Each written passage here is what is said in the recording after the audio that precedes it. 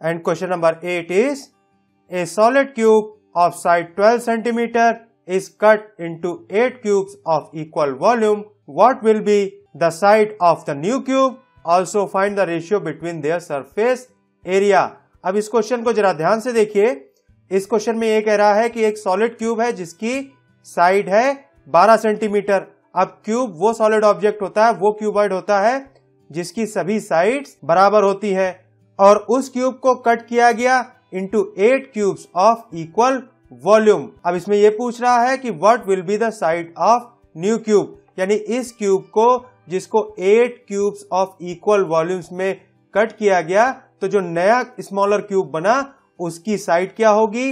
And also find the ratio between their surface area और उनके surface area के बीच में रेशियो क्या होगा?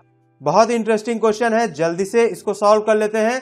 बड़े क्यूब की साइड को हम कैपिटल ए मान लेते हैं और स्मॉलर क्यूब की साइड को हम स्मॉल ए मान लेते हैं। और जैसा कि दिया गया है that is capital A is equal to 12 centimetre अब वॉल्यूम ऑफ़ ए क्यूब का क्या फार्मूला होता है? Now volume of a bigger cube that is capital A cube and capital A is twelve 12 therefore यहाँ पे हो जाएगा 12 cube and 12 cube is equal to 1728 तो volume of a bigger cube हो जाएगा 1728 सेंटीमीटर क्यूब। तो ये तो हो गया volume of a bigger cube. अब चूँकि क्वेश्चन में दिया गया है that bigger cube is cut into eight cubes of equal volume therefore volume of smaller cube is equal to volume of bigger cube upon eight और volume of smaller cube क्या होगा? Volume of smaller cube होगा small A cube and small A cube is equal to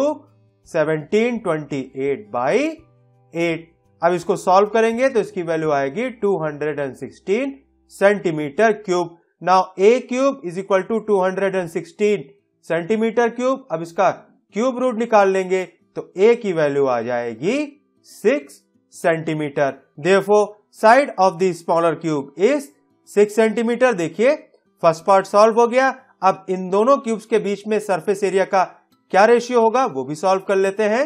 Now ratio of surface area ना surface area of bigger cube upon surface area of smaller cube अब surface area of bigger cube क्या होगा?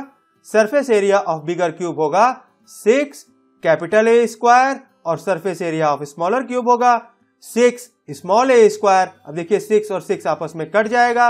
तो ये हो जाएगा capital A square upon small A square. अब capital A है ट्वेल्व और स्मॉलर ए है सिक्स। तो हो जाएगा twelve square upon six square. अब इसको सॉल्व कर लेंगे तो इसकी वैल्यू आ जाएगी four upon one. Therefore ratio of surface area will be four is to one